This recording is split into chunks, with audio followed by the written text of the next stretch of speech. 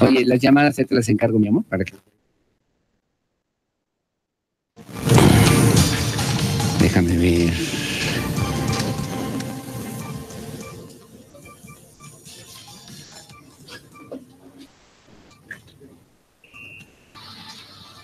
Pacho va bien, ¿no? ¿Eh? Bien. Ahí estuve ahí.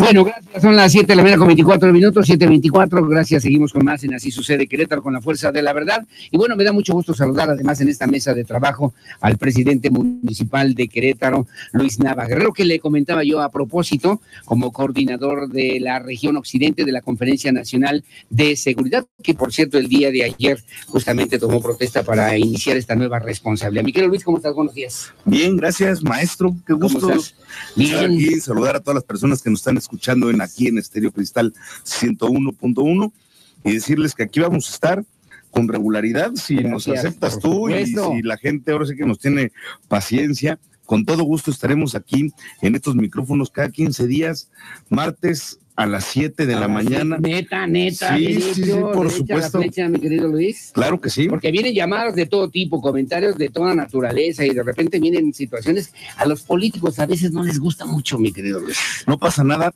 Obviamente, mientras más constructivos sean los comentarios y, y sobre todo también agradecemos el respeto con el que podamos generar este diálogo con todas las personas. Nosotros tenemos toda la apertura para poder escucharlos, para poder atender sus inquietudes, sus peticiones. Hoy por hoy nosotros tenemos un servicio de atención Sí. telefónica que es- que es el 070 Sí. que quisiéramos volverlo a poner a la disposición de todos los ciudadanos para que ahí puedan hablar y reportar si tienen la necesidad de una poda de árboles. La última vez que estuve contigo, Sí. nos habló Sí, una Luis. persona acerca de que necesitaban que tuvieran el apoyo de poda de árboles. Les mandamos ese mismo día por la tarde el servicio de poda de árboles y se pueden atender y se van atendiendo estas llamadas, estas peticiones que nos hace la ciudadanía, Claro, sí, porque además para eso estamos.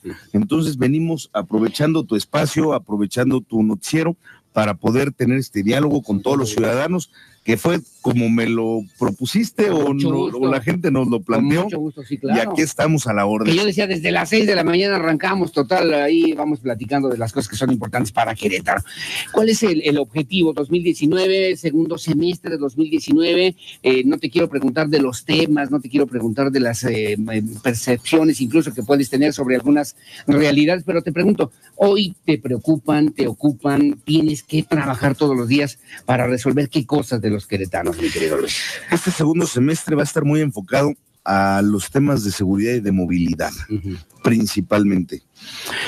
Tenemos un gran reto, Querétaro está creciendo y sigue creciendo, qué bueno que nosotros mantengamos esa inercia de crecimiento y nosotros ahora tenemos una gran responsabilidad para que ese crecimiento que nos genera grandes retos no signifique para los queretanos un deterioro en la calidad de vida de todos los ciudadanos, Sí. sino que por el contrario, que ese crecimiento se traduzca en oportunidades de empleo, en inversión y que sea un crecimiento que signifique algo positivo, un Querétaro en el cual hoy por hoy fuimos de las ciudades que más contribuyeron en generación de empleos Sí. en, en la generación de empleos de nuestro país. El municipio de Querétaro, así como lo, lo oyen todas las personas que nos están escuchando, el Incluso a- a municipio de Querétaro nacional. a nivel nacional fue sí, de sí, los claro. que, de lo que creció el empleo a nivel nacional, Querétaro fue de los municipios que más contribuyeron en esta generación de empleos. Entonces, tenemos un estado pujante, un estado que, que va echado para adelante y el municipio, este crecimiento necesitamos que no tenga una connotación de que el crecimiento va deteriorando nuestra calidad de vida, Sí, claro. sino que por el contrario, como en el judo, Sí. necesitamos utilizar la fuerza del oponente, esta claro. fuerza del crecimiento, esta inercia, para poderla volver a nuestro favor. para que esto se traduzca en oportunidades, se traduzcan en una mejoría en la calidad de vida de todos los que aquí habitamos en el municipio. No enfrentar, no oponerse, sino tratar de resolver o de encontrar un cauce, por lo menos institucional, a estas demandas, necesidades que tienen los ciudadanos. En efecto, ordenarlo, hacer un crecimiento en equilibrio, por supuesto, también con nuestro medio ambiente. Y aquí vamos a tocar este tema también del medio ambiente con todas las personas que nos están escuchando. Tenemos hoy un programa que se llama Respira Querétaro y este programa implica el, la siembra de árboles, el cuidado de los mismos, la adopción de árboles por parte de todos los ciudadanos.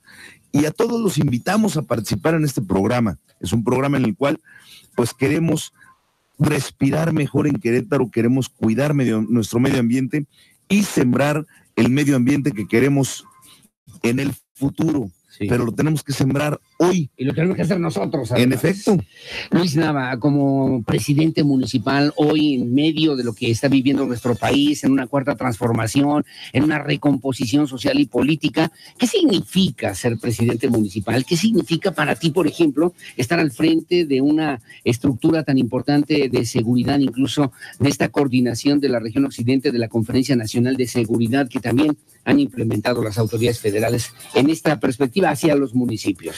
Eh, es un gran reto, es un gran compromiso y sobre todo una gran responsabilidad el estar al frente y el tener la oportunidad al estar al frente del municipio, pues justamente tenemos esa responsabilidad también de demostrar a otras ciudades, a otros municipios de nuestro país, que sí se puede hacer Sí, sí, sí, se puede lograr las cosas, sí, sí podemos hacer que podamos tener programas, que podamos ir hacia adelante, que podamos meterle un gran impulso a nuestra seguridad y a programas sociales como el Querétaro por la Paz, en donde nosotros podamos mejorar estas condiciones de vida como acciones prevenir, en donde los queretanos puedan mejorar su calidad de vida y esto también se refleje en mejorar las condiciones de seguridad.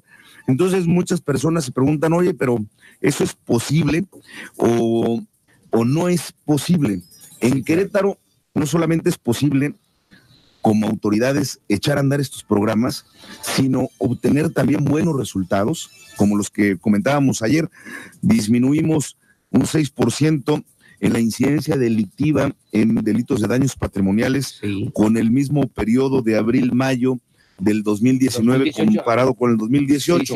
Entonces, esto ha hecho que también a nivel regional el municipio de Querétaro se haya posicionado con otros municipios y por eso tenemos la coordinación regional de la Conferencia Nacional de Seguridad Pública Municipal. Responsabilidad, ¿qué es responsabilidad, Luis? Y tenemos que darle cierto seguimiento a las mejores prácticas, porque no se trata de inventar el hilo negro, no se trata tampoco de querer, digamos, copiar y pegar un programa, una política pública de un municipio o de un país a otro. Se trata de adaptar, de tropicalizar, se trata también de adecuar y de ajustar y conocer, por ejemplo, cuáles son las mejores prácticas de un municipio u otro, compartirlas y ver cómo se puede este, este compartir experiencias, compartir una visión, este aportar en los nuevos modelos eh, federales.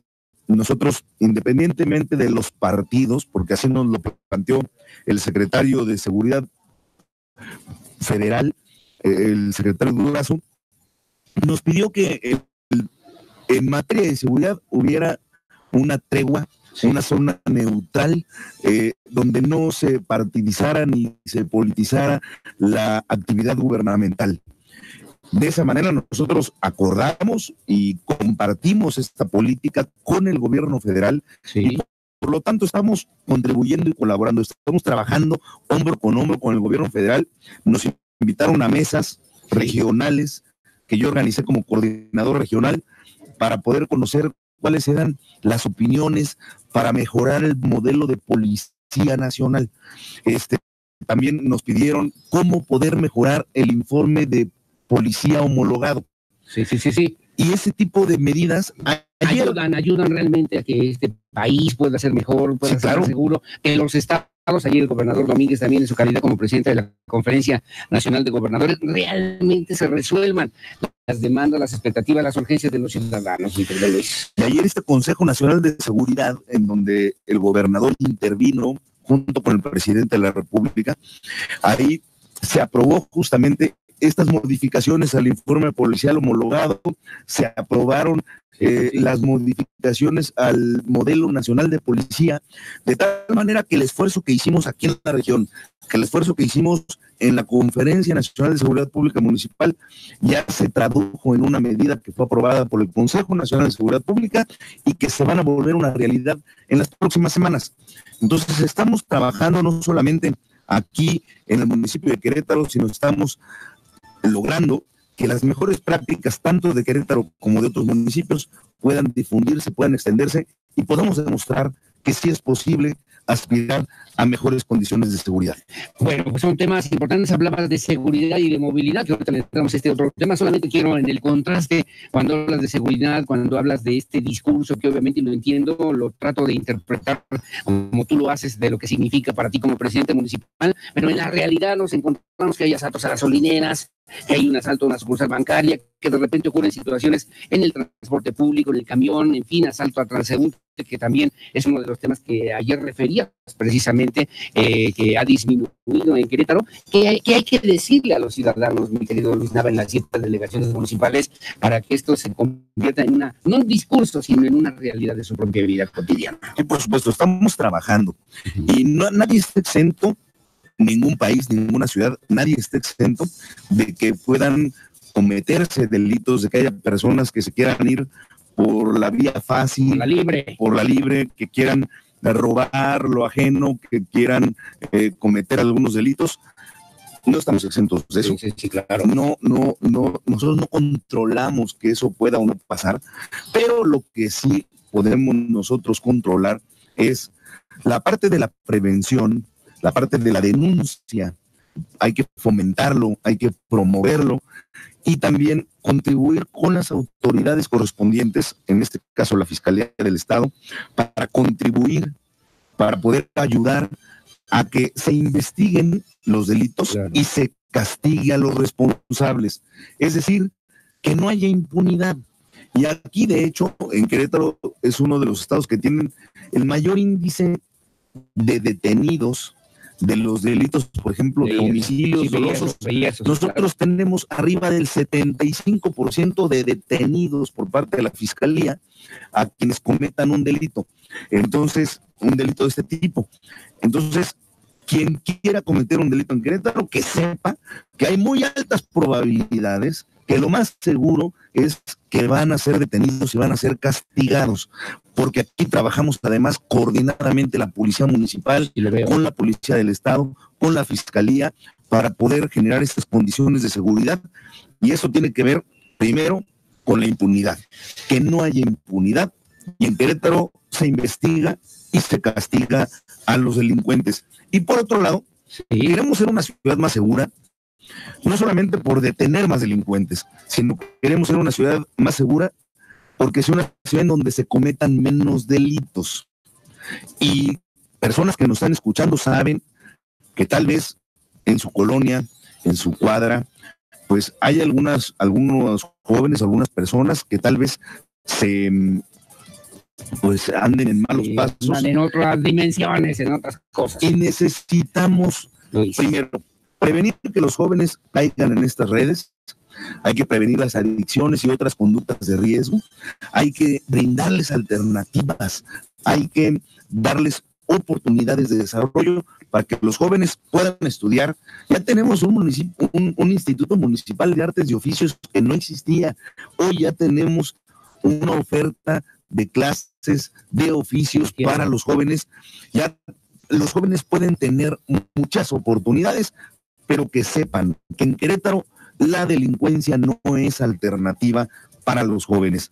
Entonces, no debe haber impunidad, estamos trabajando permanentemente en eso, y por otro lado, debe haber muchas opciones, muchas alternativas para el desarrollo de los jóvenes, pero la delincuencia no puede ser una alternativa. Orden y respeto, digamos, para que esta situación de convivencia realmente se pueda lograr. Tú has insistido mucho en el tema de Querétaro, una ciudad de paz. De hecho, están todavía insistiendo y trabajando en estas, en estas consideraciones que se hacen a nivel nacional, a nivel internacional, de lo que puede significar el día de hoy Querétaro en sus grandes, en sus grandes potencialidades de desarrollo económico, turístico, social y cultural. Y bueno, quiero la aguantas una pregunta de la gente Venga, por supuesto. derecha y así que entre a, eso, la primera. A eso vinimos y con todo gusto y con toda confianza.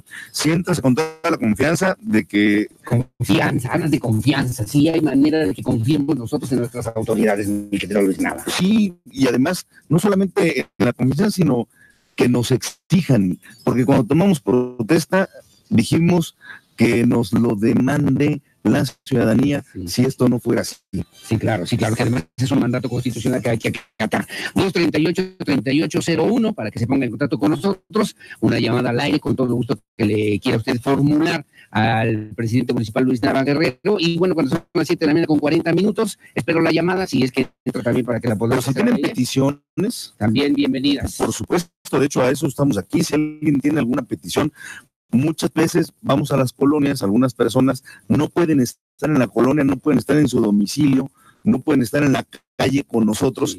Y por eso estamos aquí, para que se abra este canal de diálogo en donde las personas puedan hablar, puedan hacernos alguna petición y si no lo podemos atender en su colonia, pues al menos aquí con el maestro Aurelio Peña. Échame a mí la culpa, mi querido Oye, pero la idea es que se establezca este proceso de comunicación, obviamente, que tiene que ser un proceso de comunicación efectivo y que tiene que servir para resolver las demandas y necesidades de la gente, de la sociedad en Querétaro, en las siete delegaciones. Tema movilidad es un tema también complicado, difícil, del que tú también ya has eh, comentado y que tendríamos que estar también eh, pensando cuál es la perspectiva que tienes hoy en el 2019 para cerrar la pinza con el Instituto Querétaro del Transporte, que a veces pareciera, por lo menos esa es la impresión personal, mi querido Luis, por aquí, por allá, por allá y lo demás, y a veces no nos, no nos ponemos de acuerdo. A ver, tenemos una llamada al aire, a ver, aquí está la llamada, mi querido, al tantito, pero con para que te la pongas, a ver si la puedes escuchar acá en a ver, a ver si la podemos ahí.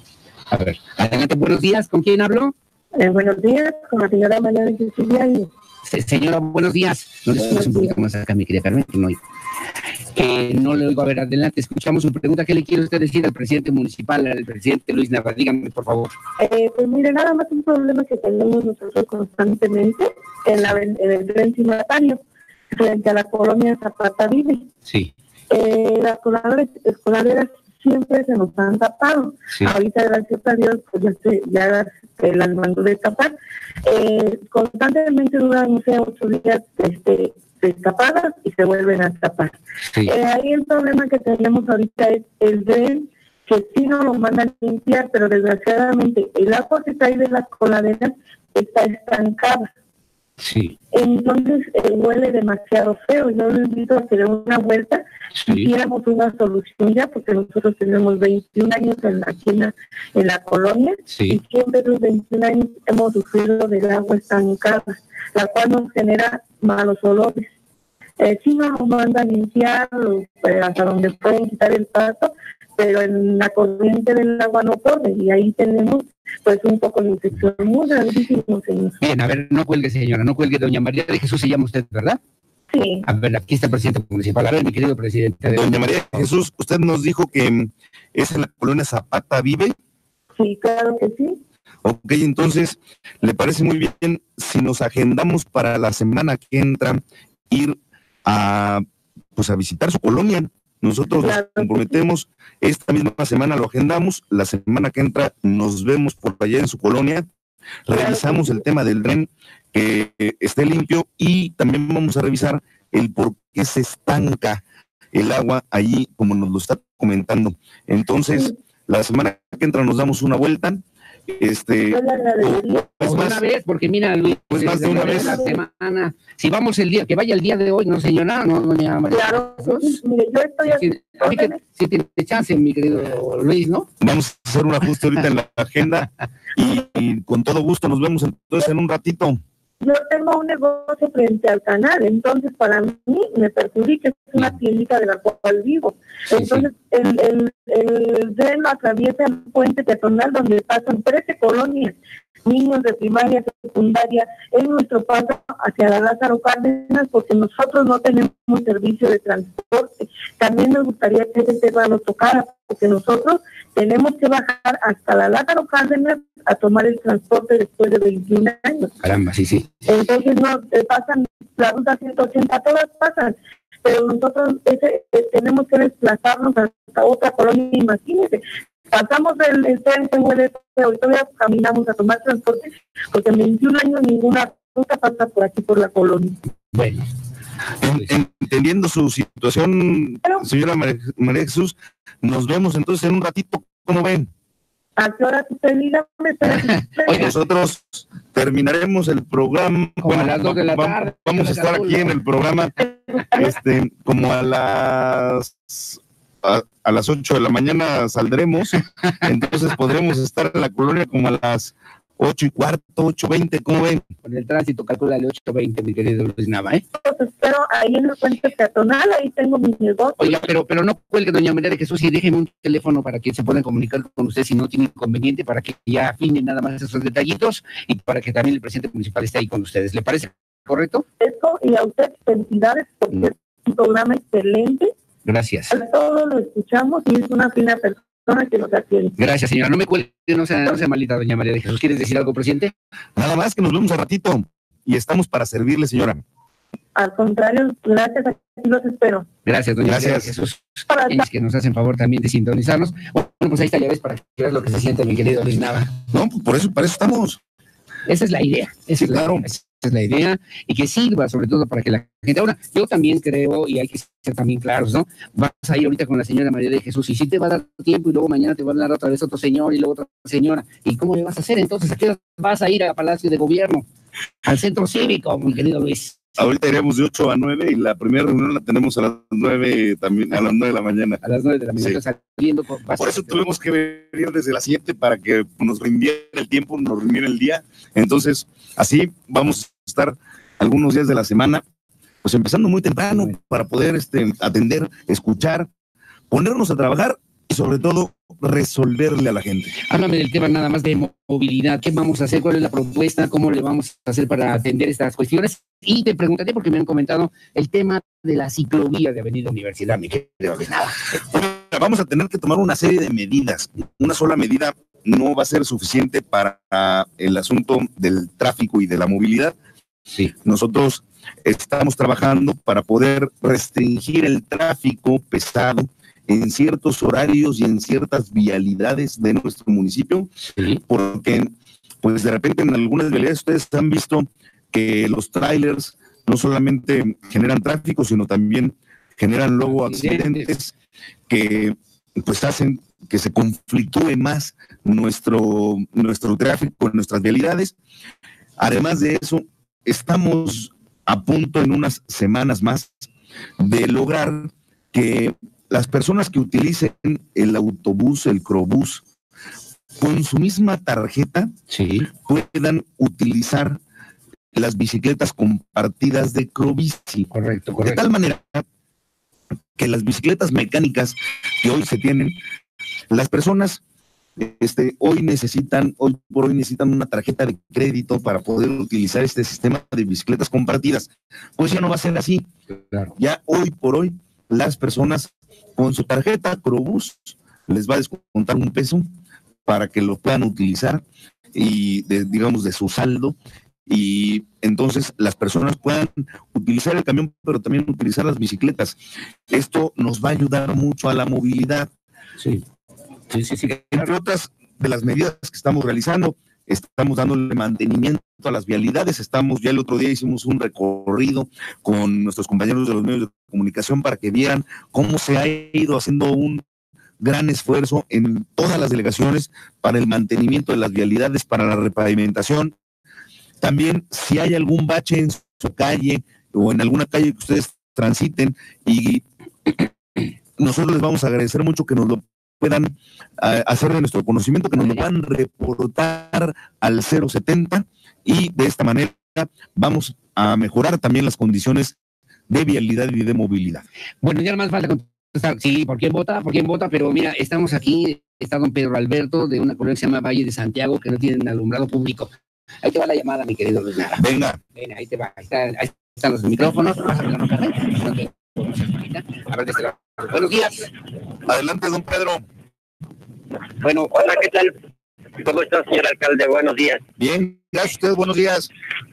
Mire, nada más con entiendo en la petición del alumbrado público, seguimos batallando acá en Valle de Santiago.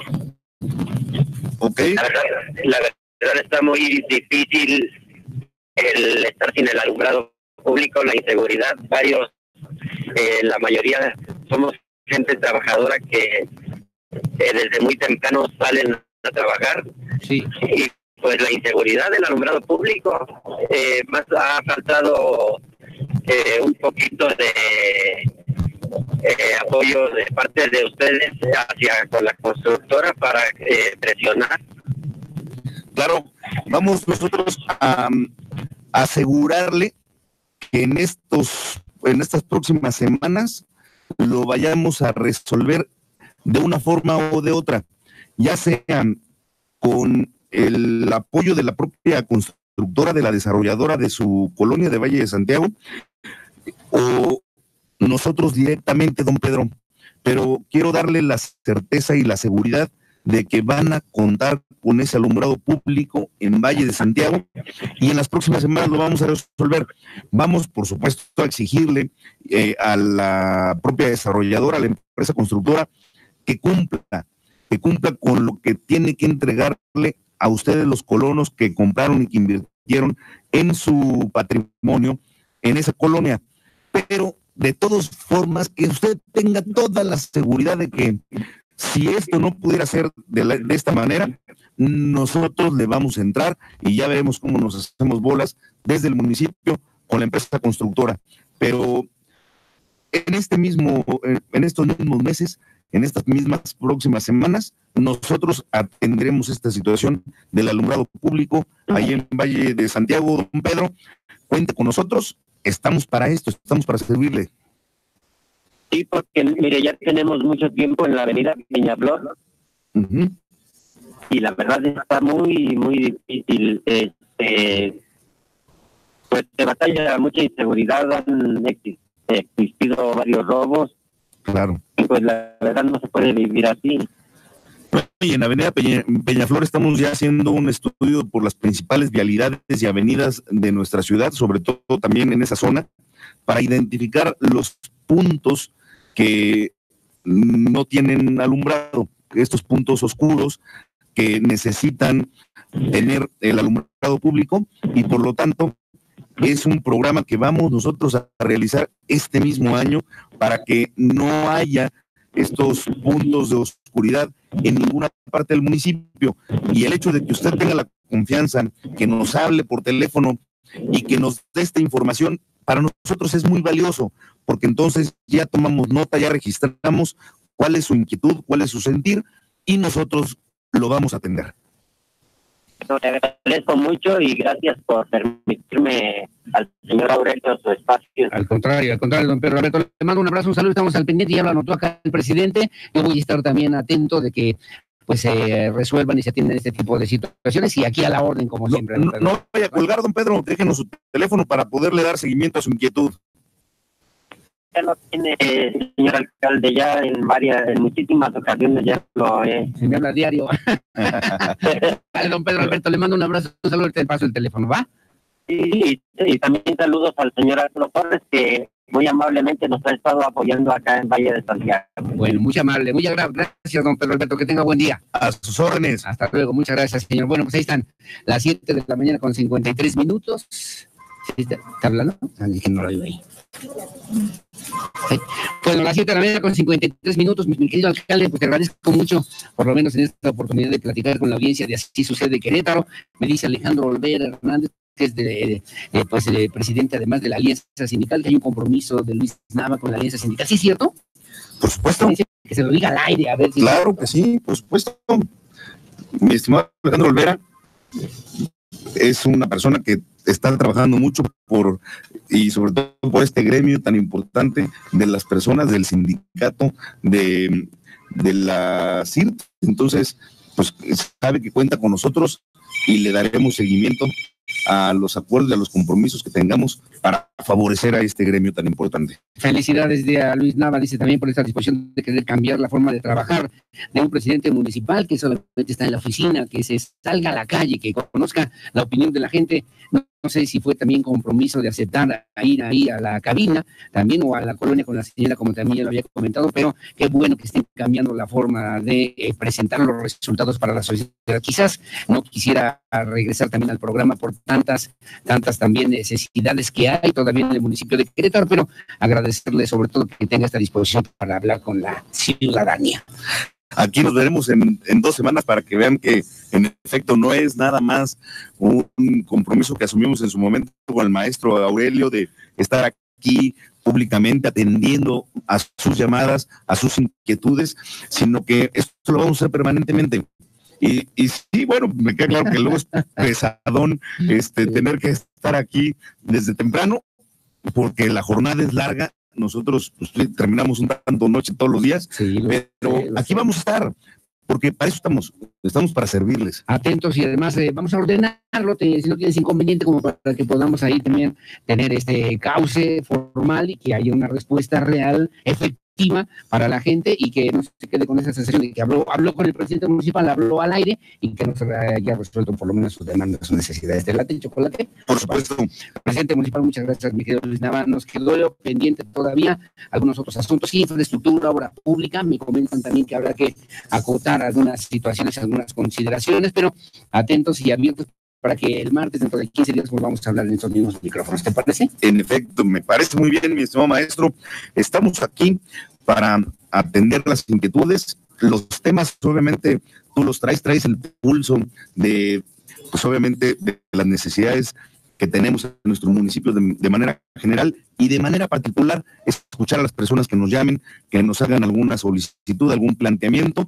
Nosotros, ahora sí que en, en este diálogo de respeto, que podamos lograr eh, generar con todos los ciudadanos, estaremos atentos, escucharemos para ponernos a trabajar y para resolver. Tengo otra llamada al aire. La Adelante, por una vez. Bueno, vamos centrados en gastos. A ver, te la paso, mi querido Luis, otra vez. Mi querida Carmen Villa, perdóname, por favor. Bueno, ¿con quién hablo? Buenos días. Sí, Aurelio. ¿Qué dice, maestro? ¿Cómo le va? Buenos días. Pues nada, nada más para saludarte y bueno, pues ahora sí que ponerle al licenciado Nava algunas circunstancias que atraviesan nuestra colonia.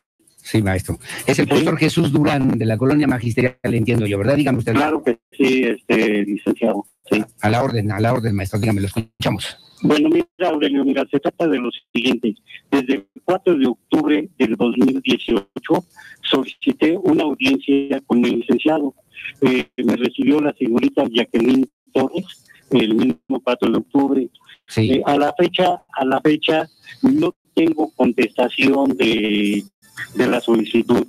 Eh, hablé nuevamente con una señorita Judith Campos y he estado hablando constantemente y pues es caso omiso. Digo, únicamente para exponerle al licenciado, nuestra colonia, que no pertenece ni a Dios ni al diablo, carece de una colonia magisterial colonia magisterial, de un 40% de calles con tierra. No tenemos infraestructura urbana adecuada. Una. Dos, eh, el 50% de la colonia carece de drenaje sanitario.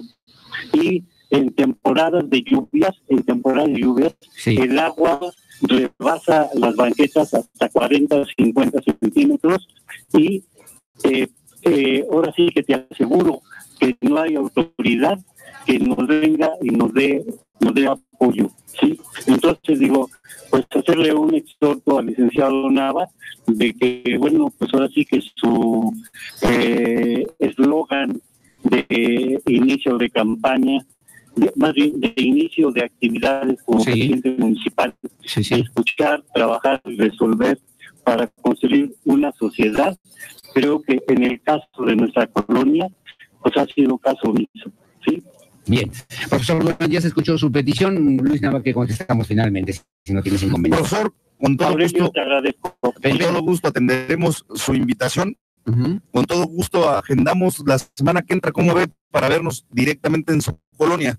Eh, eh, oh, le, voy a agradecer mucho, licenciado, de veras, que se diera una vuelta aquí a la colonia como le dije a Aurelio y como se lo he dicho a varios este, alcaldes, la colonia que no pertenece ni a Dios ni al diablo. Así de Con todo gusto nos vemos la próxima semana en su colonia y ahí revisamos cómo está la situación de la infraestructura, del drenaje y de todas las cosas que ahorita nos ha ido comentando para poderlas atender directamente ahí en su colonia, la colonia magisterial. profesor Jesús Durán, ahí estaremos con usted. Y por supuesto que este, agradecemos su paciencia, su comprensión, porque sí, sí tenemos muchísimas peticiones, por eso estamos aquí justamente al aire, en vivo, en un medio masivo de comunicación para poder escuchar todas las peticiones y en este caso en particular iremos a la colonia magisterial a atenderlo directamente. A ver, licenciado, usted me dice qué fecha vendrían para yo estar al pendiente y bueno, ahora sí que avisarle a algunos vecinos, ¿verdad? Para que, bueno, pues también expongan sus necesidades. Sí, claro. Correcto.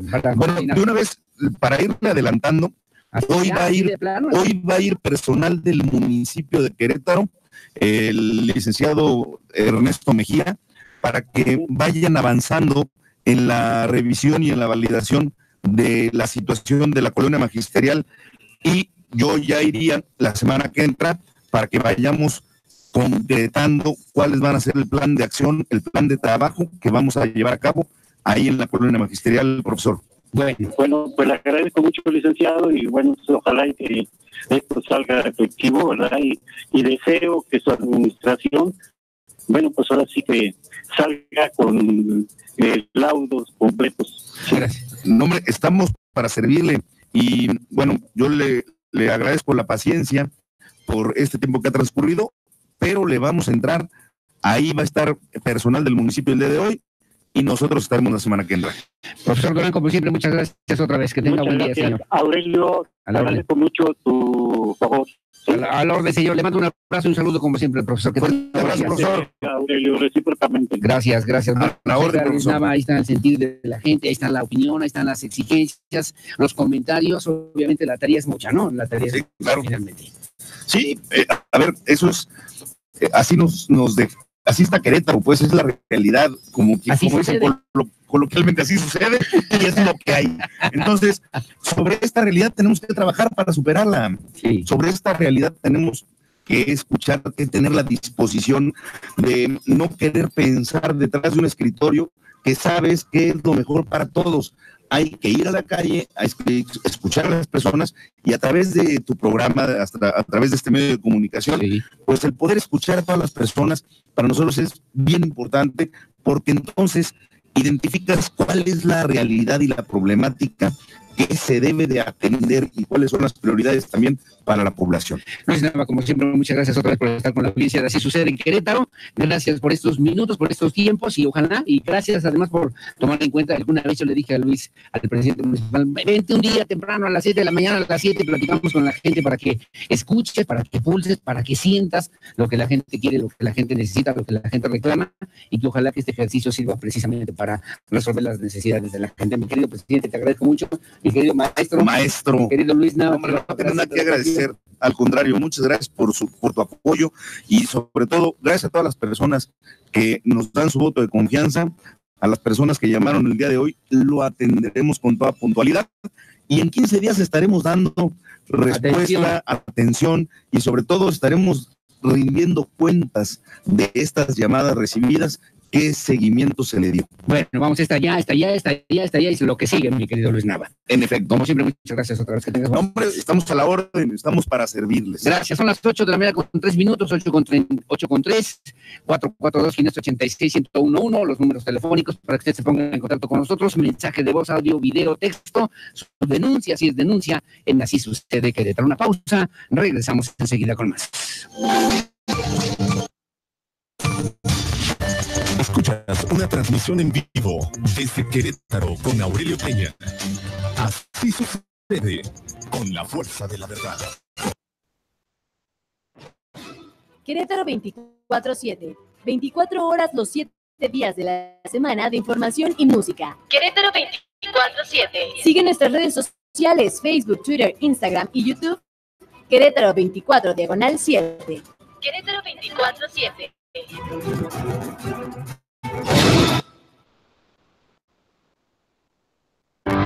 El Marqués más seguro. Hoy contamos con más patrullas, tecnología y policías mejor capacitados. Tu familia es lo más importante. Ese es nuestro compromiso y lo estamos cumpliendo. Con hechos, transformamos nuestro municipio. Presidencia